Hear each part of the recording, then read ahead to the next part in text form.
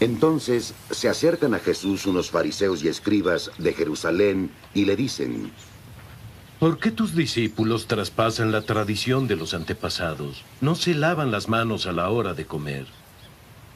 Él le respondió, ¿Por qué traspasáis los mandamientos de Dios por vuestra tradición?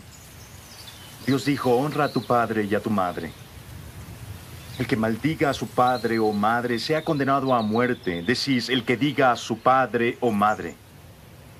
Lo que de mí podrías recibir como ayuda es ofrenda para el templo. Eso no tendrá que honrar a su padre.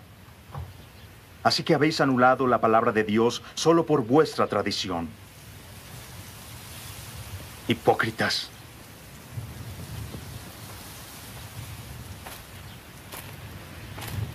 Isaías profetizó de vosotros cuando dijo, Este pueblo me honra con los labios, pero su corazón está lejos de mí, me rinden culto en vano. Enseñan doctrinas que son preceptos de hombres.